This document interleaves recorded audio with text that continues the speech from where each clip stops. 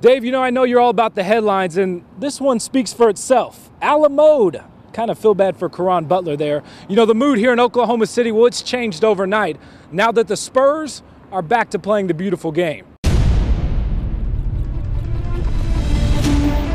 Catching it and going. Doing a great job. That's the deal. They close, and we shoot it and we go. That's the whole game. The genius of Coach Pop. When the Spurs are playing their game, OKC, they just can't keep up. It was back to Spurs basketball last night. Great ball movement, physical play, and everybody getting involved.